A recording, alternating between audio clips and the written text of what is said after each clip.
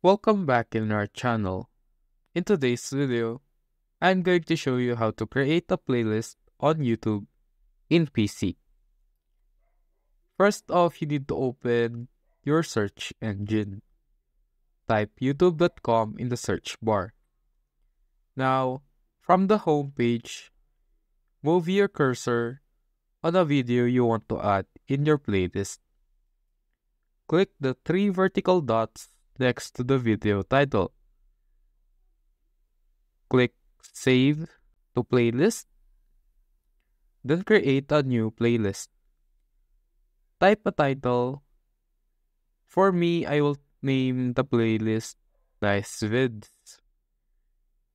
Click on the private to see the privacy options. You can choose from public, unlisted, or private. Then click create.